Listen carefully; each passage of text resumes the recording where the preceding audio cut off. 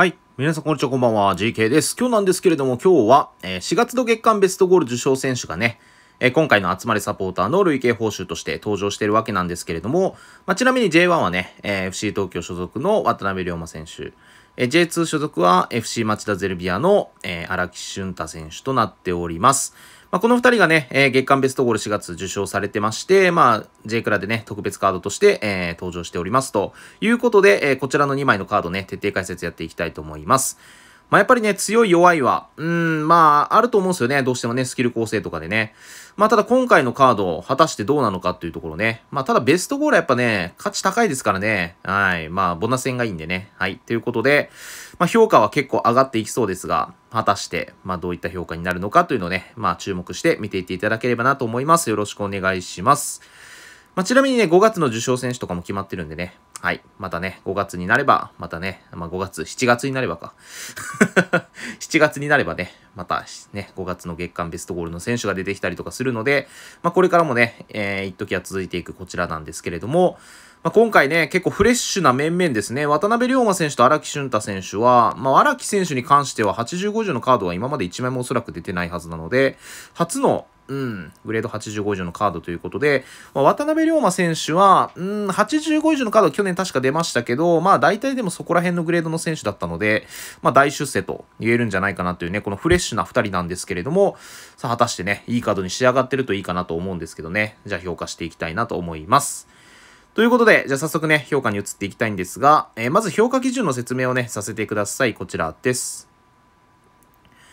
はい、えーこの動画の評価についてなんですが、スキル能力値総合の3項目を1から10の10段階で評点付けをします。で、またですね、一人一人上記の項目をもとに細かい評価、それぞれつけていけたらなと思います。よろしくお願いします。ということで、じゃあここからなんですが、評価に移っていきたいと思います。じゃあまず、えー J1 受賞選手の評価をやっていきたいと思います。こちらです。はい、FC 東京の渡辺龍馬選手です。渡辺選手はスキルが9、能力値10、総合9で評価しております。はい、ということで見ていきたいんですけど、スキルはね、9ということで結構評価高いですが、まあ、フライングボレーね、これの上位、ダイナミックフライングボレー、今回ね、新スキルで、えー、フォーカスドプレイ第2弾と、こちらのね、月間で登場してますが、まあ悪くないと思いますね。で、あとスペクタ、スペクタクルターンはこれターンドリブルの上位ね。で、あと無回転シュートということなんですが、まあこれがなんでじゃあ10じゃないのかっていうところに関して言うのであれば、まあやっぱりね、その、まあボレーはいいんですよ。ボレーはいいんですけれども、まあ欲を言うんだったらこのスペクタクルターンのところが、やっぱりシュートスキル欲しかったかなっていうね、ボレーだとね、片方がね。うん。これなんでかっていうと、例えばまあスペクタクルターンからの無回転というのは期待ができるんですけれども、まあここの無回転シュートに関してはやっぱり B スキルなので、まあただ強いとは思います。強いとは思うんですけど、やっぱシュートセーバーの結構ね、えーそれなりの硬さで使ってる人にはちょっと通用がしそうにはないような気がするんですよね、どうしてもね。ということで、まあ、点を取るっていうところで見るんだったら、やっぱりね、A スキルのシュートスキルが1個欲しかったかなっていうのはあります。ボレーの他にね。で、こういうタイプだともうボレーが結構生命線になってくるので、ドリブルスキルと相性がいいかって言われると、それもちょっとね、スキル相性みたいなところで言っても、うん、まあ難しいところがありますね。はい。まあ悪くないですけどね、スペクタクルターンはね。はい。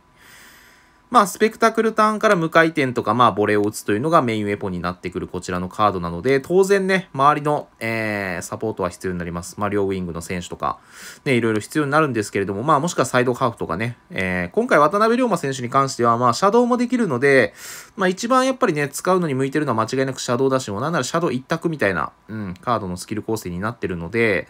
まあ、ここはもうシャドウとして迎え入れて、えー使うかどうかというのが鍵になってくるんですが、シャドウのね、ボレーってね、うん、まあ、生きにくくもないですけどね、今現状で考えられるフォメだと、ちょっと生きにくいっていうか、限られちゃうかもね、どうしてもね。うん。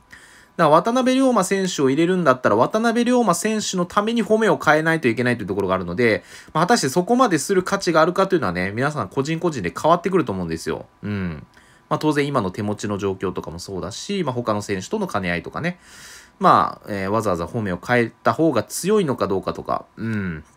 まあいろいろね、そういったところの、まあいろいろな問題がちょっとつきまとってくるので、まあ使いやすいかと言われると使いやすくはないと思います。ただまあ仕上げれると強さを発揮すると思うんで、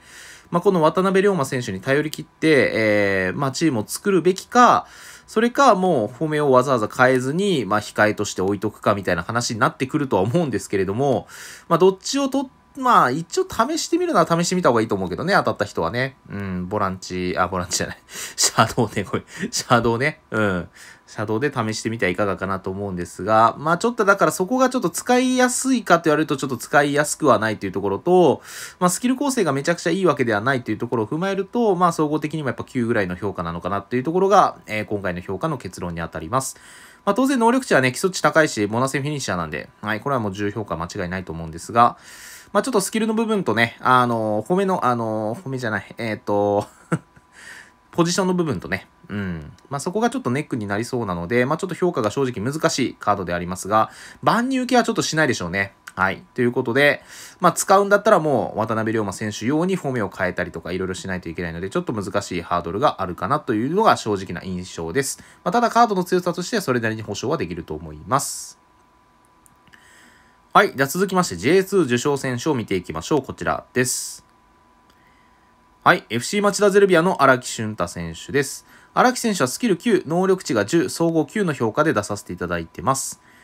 はい。ということで、じゃあここ見ていきたいんですけど、スキル構成はね、結構いいですね。こっちね。うん、使いやすそうですね。フォックス・イン・ザ・ボックスと、えー、スペクタクルボレーと高精度ミドルシュートということで、近距離、中距離、ボレーの組み合わせね。まあ、結構優等生タイプの組み合わせですね。はい。まあ、使いやすいんじゃないかなと思います。まあ、ただ、まあ、そうね、対シュートセーバーというところで見ると、まあ、メインウェポンがね、フォックスインザボックス、うーん、もう一押し欲しかったね。魂のゴール半ぐらい欲しかったですね。はい。というところで見ると、まあ、9かな。ここも10まではちょっといかないかなと思います。ただ、まあ、ひょまあ、印象はいい9かな。うん。で、能力値に関してはね、ここも能力値、えー、オフェチ高いですし、プラスね、ボナセフィニッシャーということで、能力値的には10は出せると思います。で、総合的には9の評価になるかなと思います。はい。ということで、先ほどの渡辺龍馬選手よりは、まあ、荒木選手の方が、まあ、433B とかには組み込みやすい、まあ、CF とかでね、組み込みやすいタイプにはなってます。で、さっき渡辺龍馬選手のところでちょっと言えばよかったんですけど、荒木選手と渡辺龍馬選手に今回共通するところとしては大出世しているので、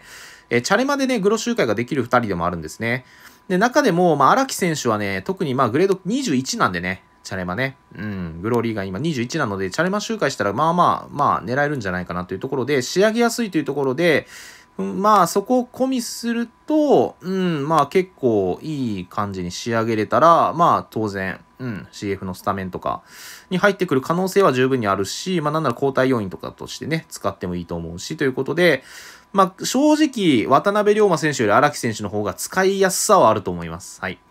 で、強さとしても、まあまあ、ボレーをうまく活かすことができれば、ここもまあね、強さは生きてくると思うんで、まあ、両者に共通するボレーですけど、ボレー以外のスキルがね、ちょっと違ったりとかして差が出てますけど、うん。まあ、荒木選手に関して言えば、うん、ここは仕上がると、うん、結構いい感じしますけどね。はい。なので、まあ、ここは CF 不足の人とかだと、まあ、狙ってる人は、まあ、いるんじゃないかな。周年のために、特にガチャ回したりとかね、してる人多いと思うんでね。はい。まあ、今回ちょっとね、そういった、あのー、まあ、ガチャの背景とかもありますし、まあ、ちょっと激戦区にね、えなってるような、うん、感じがするね、今回の、えー、厚さポなんですけれども、まあ、荒木選手に評価するとしたら、まあ、そこのね、えー、まあ、グローリーのその取りやすさ込みで、まあ、仕上がったと、まあ、仕上げれると仮定するんであれば、結構評価としては、まあ、いい評価出せるんじゃないかなと思います。まあ、正直、総合は9ですけど、まあ、10よりの9ぐらいと思ってほしいし、まあ、ここセンスが正直ね、しっかりとついてくれば、まあ、総合評価としても10の評価は当然つけれると思うので、そこの仕上げという部分もね、兼ねて、えー、ぜひね、あの、手に入れた方は、え、頑張ってほしいなと思います。まあ、得点もそれなりに期待できると思うんで、まあ、結構、はい、まあ、使いやすさはあるかなと思います。はい。ということで J1、J2 ね、それぞれの受賞選手を評価していきましたが、いかがだったでしょうか？まあちょっとね、渡辺選手の方は癖があるね、感じがしましたね。まあ予想の時にね、まあウィング特化したようなカードが出てきた方がま使いやすいよねっていうところのお話をちょっとさせていただいてたんですが、残念ながらそこは、そこには至らなかったので、まあちょっとシャドウ一択のようなね、カードが出てしまってますが、まあシャドウを使う人からしたらね、まあ結構理想的な、まあボレーとかうまく活かせるんだったらね、結構理想的なスキル構成となってるので、まあそういう人はね、ぜひ手に入れてほしいなと思います。で、荒木選手はね、今の 433B にしっかりと組み込めるような CF タイプの選手でありますので、うん。まあ、ここは取ったらそのままね、スタメンとかも考えていいんじゃないかなとは思います。はい。ということで、今回ね、4月ね、えー、4月のベストゴール、えー、受賞選手ね、2人の評価をさせていただきました。まあ今ね、ラインビね、しっかりと走ってる方もいると思うんですが、ぜひね、獲得に向けて、えー、7日間、大変でしょうけど、ぜひね、頑張ってほしいなと思います。では、今回の動画は以上になります。ご視聴ありがとうございました。これで失礼します。バイバイ。